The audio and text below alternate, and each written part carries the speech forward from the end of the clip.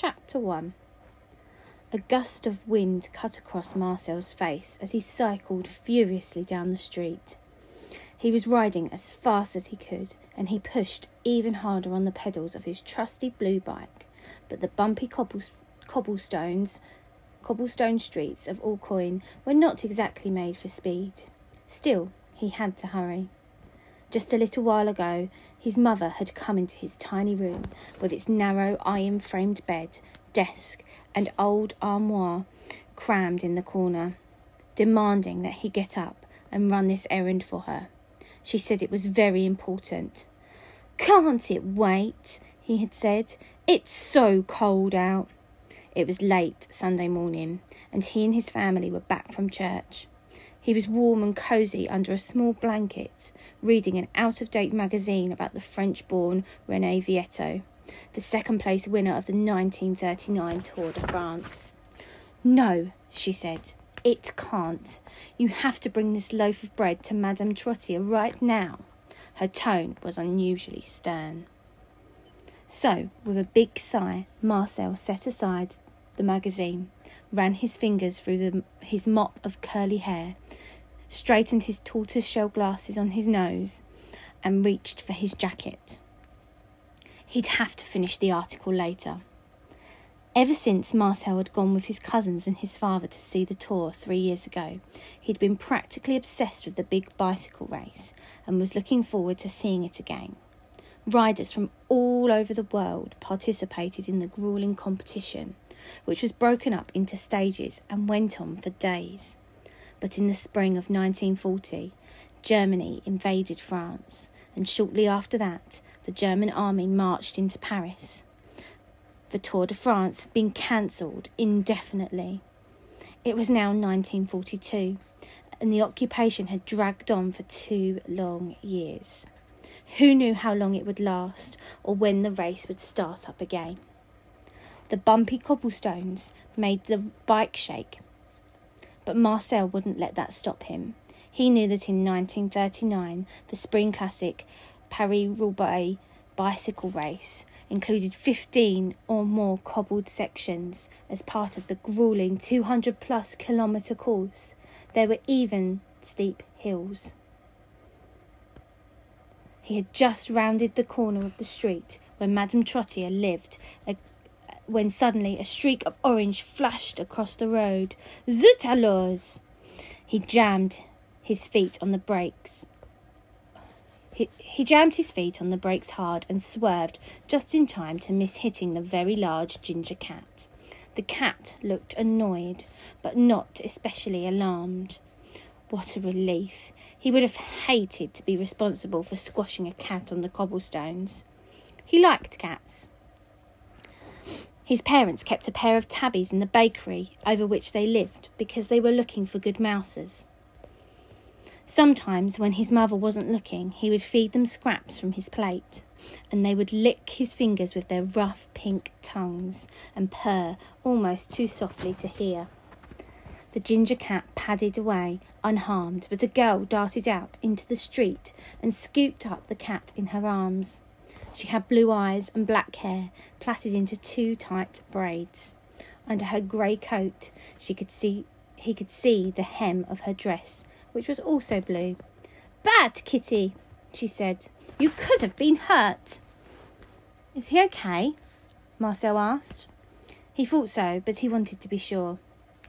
It's a she, said the girl. And she's fine, thanks. Still cradling the cat in her arms, she walked away. Marcel stood staring after her. He had never seen her before. Maybe she was new in town. She looked like she was around his age. And she was pretty. Not that he cared about stuff like that. He wasn't interested in girls. He thought they were bossy and gossiped too much. Also, they cried at the least provocation. And not one of them he knew had the slightest interest in what he considered to be the most important thing in life cycling. But why was he even standing here thinking about this? He'd promised Mother he'd hurry, and if he didn't, she would be annoyed. He loved his mum, but she did have a tendency to nag about cleaning up, washing his hair, helping out in the back in the bakery. Mums were like that. When he finally reached Madame Trottier's house, he'd been pedalling so hard that despite the chilly day, he was sweating. Merci, she said, taking the bread from him. Tell your mother I appreciate it very much. I will, said Marcel. He pedalled home more slowly, passing the string of shops that lined the street butcher, cheese store, greengrocer, cafe, and on the corner, bakery. On the other side of the street was a store that sold clothes, another that sold hats, and a third that sold toys. That used to be one of his favourite. But now that he was 12, he was a little too old to stop in any more. There was also a tailor, a tiny shop that sold used books, and the town's old church, St.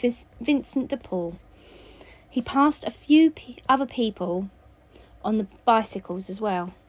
Bicycles were just a part of life here and a good way of, to get around quickly. People young and old rode them almost everywhere. The only thing that was unfamiliar in all of this was the presence of soldiers. When the Germans had invaded France, they swarmed all over Paris and lots of other cities in the north. Marcel had seen headlines in the newspapers and heard about it on the radio, that Papa kept on a table in the front room. Aucoin, however, had been in the free zone since the invasion in 1940. That meant it had not been occupied by Germans, and they had not seen many soldiers here. But in the last two weeks, that had all changed. On November 11th, the Germans invaded the free zone too, and now soldiers from France and even Germany had started to appear in the town square or at the market. He also noticed more gendarmes, police, patrolling in the town. The French soldiers wore belted olive green jackets and helmets. In other circumstances, he might have admired them, but given the presence of the Germans and the gendarmes, they made his little village seem like a strange and scary place. A lot of other people thought so too and quietly cursed the soldiers when they were not in earshot. People said that they were working hand in hand with the Germans and called them collabos, which was short for collaborators. Whatever they were called, Marcel feared and distrusted them. He wished they would all go away. He slowed when he got to the bakery. His mother was outside, scanning the street for him. Did you deliver the bread? Yes, and Madame Trottier said to thank you. Only then did her expressions soften. Good. Thank you for getting it to her. I'm going to keep riding for a while, he said. His mother nodded and went back into the bakery. She'd seemed so anxious lately, more, more so than usual. He wondered what was wrong, but when he'd ask, she'd say she was fine. The bicycle bumped along until Marcel reached the end of the cobblestones. Then he was able to pick up speed. Soon he was outside the town, pedalling faster and faster still. The houses rushed by and the trees arched overhead. Only a few dried leaves left on their tall branches. What if one day he could actually ride in the Tour de France? He'd be speeding along just like this. As he rode, the red roofed houses gave way to farms and pastures in which he saw horses, cows, sheep, and pigs. For a few seconds, he imagined the road lined not with animals, but with crowds of spectators cheering him on as he flew along to victory. Then he had to slow down for a gaggle of geese crossing the road, their noisy honks echoing in his ears as he passed. That ended his dreams of the Tour de France, at least for now. After a while, he grew hot and tired, so he let the bike slow to a stop and hopped off, flopping down on the dry grass. He would rest here for a few minutes before heading home. Marcel was small for his age, and not the best cyclist either, and he wore glasses, he didn't like being the smallest kid in the class, the one who got picked on and teased. He couldn't do anything about growing taller or needing glasses. Those things were beyond his control. But he could get stronger and faster. He could. That was why he vowed to try to ride every day, to build up his speed, his endurance, and his strength. Then the other kids would think twice about teasing him. And that was what the Tour de France riders did. He'd been reading all about them. Most recently, the entire race course was 4,224 kilometres. You had to work up to a distance like that. Of course, the race was divided into stages of a certain number of kilometres each day to make it possible to finish. There were 18 stages in all. He also learned that cyclists had developed special strategies like eating certain foods and taking vitamins, all in an effort to improve their performances. Marcel reached for his canteen, took a long drink, and climbed back onto the bike. He still felt bitter about missing what was now three years of the race. It was another reason to resent the Germans. His parents shared his resentment. They detested the occupation, which had brought the soldiers here. It was also it also brought rationing and shortages of food and gas, and his parents especially detested Adolf Hitler, the leader of the German people, and the man responsible for the invasion and the war. But what could they do about it? Not a lot. As Marcel headed back toward town, he came to a small bridge where a French soldier stood patrolling. Under his helmet, his expression was stern. The gun slung over his shoulder looked big and heavy. Marcel slowed down the way he'd been taught. The soldier stepped out into the road and raised his hand. Marcel came to a full stop and waited while the soldier walked over and slowly looked him up and down.